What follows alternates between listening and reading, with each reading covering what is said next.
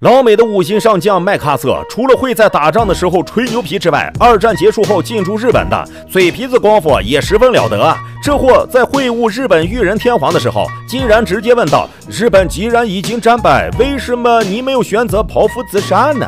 天皇听完脸都绿了，支支吾吾半天都无法直接回答，最后只能虚伪的敷衍了事。老麦克不仅在日本全国上下肆意的蛊惑人民群众。甚至为了销售面条，不惜把吃白米饭说成死罪。关键人家小日本还信以为真了，天天把老麦克当上帝一样供着。最离谱的是，老麦克在离开日本时，前来送别的日本民众高达百万。嘴里都疯狂地嘶吼着“大元帅”，哭声喊声混成一片，场面一度十分的壮观呐，真就是小母牛坐飞机牛上天儿了。一九四五年二战结束，日本宣布无条件投降，但老美对于小日本的恨呢，可是从未削减过的。自日本鬼子策划了偷袭珍珠港之后，老美的航母飞机就跟打了鸡血一样，一个劲儿的把日本联合舰队往死里怼，那模样还真是老奶奶涂口红，准备给他点颜色。瞧瞧，虽然老美的跳岛战术在战斗中取得了很大的成功，但在瓜岛以及硫磺岛战役里，美军才算是真真切切体验了一把日本的武士道精神。压的这帮小鬼子是真不怕死啊！几十万没有后勤补给、资源短缺的日本残兵败将，老美没抓到几个俘虏不说，自己还被搞得大出血，士兵伤亡数量与日俱增。一身桀骜不驯的老美能受这委屈吗？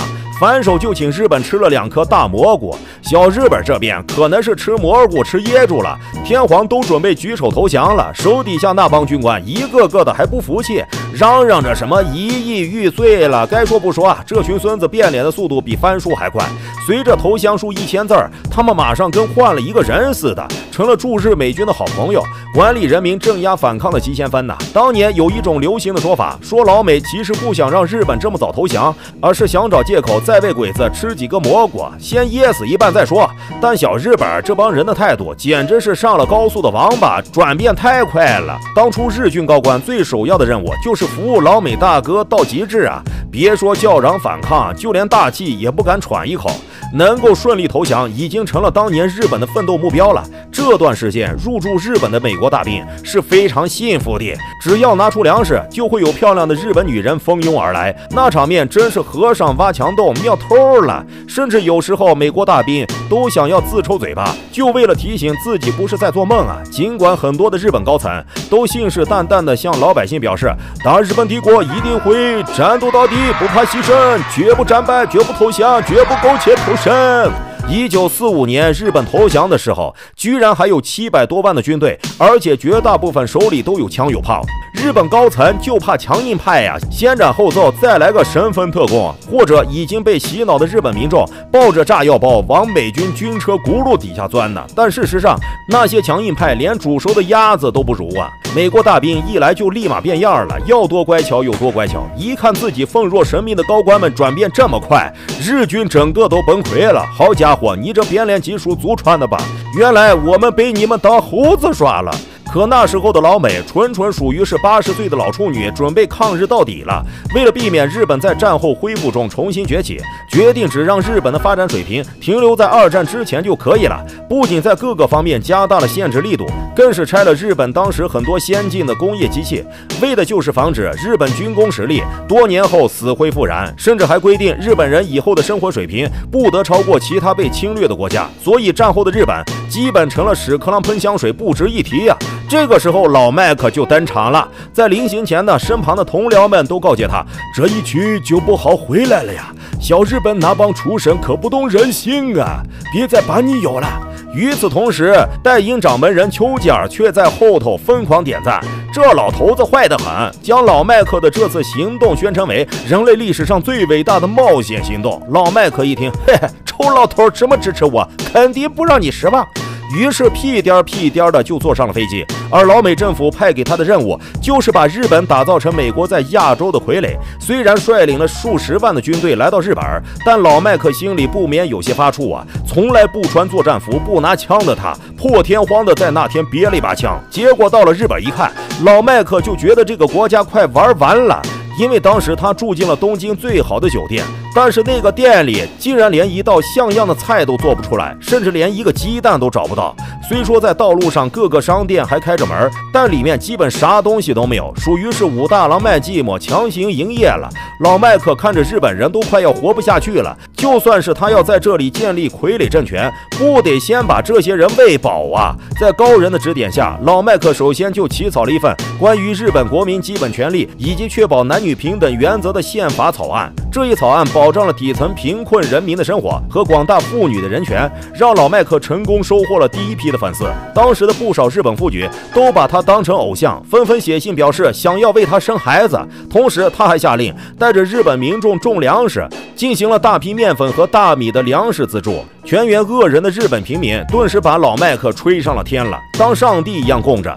堂堂一个二战名将，却在战争结束后跑到这里教一个战败国如何种粮食，说出来他自己都觉得是大写的离谱呀！再加上上世纪五十年代，美国国内农产品生产严重过剩，粮食多到连狗吃面包都觉得腻呀。而日本恰巧又处于战后恢复的状态，因此将这些过剩的粮食给日本运过去，既不浪费，也能够让日本人感恩戴德呀。但唯一不同的是，美国国内最多的是小麦和大豆，而日本人喜欢吃大米米饭。老美运来再多，日本人不吃也是件麻烦事儿啊。所以老美为了能够让这些生产的粮食可以很好的销售出去，便开始让那些日本有权威的学者、营养师等等大肆宣传吃大豆和小麦可以益寿延年，对身体好，甚至还离谱的说多吃大米会致癌。小日本一听，嘿，原来二战打不过的是因为大米吃多了呀！大哥都帮他们帮到这个份上了。说出这样的话，可信度肯定也不低呀。再加上老麦克让那些学者们一直给日本民众洗脑，到最后日本人连大米都不吃了，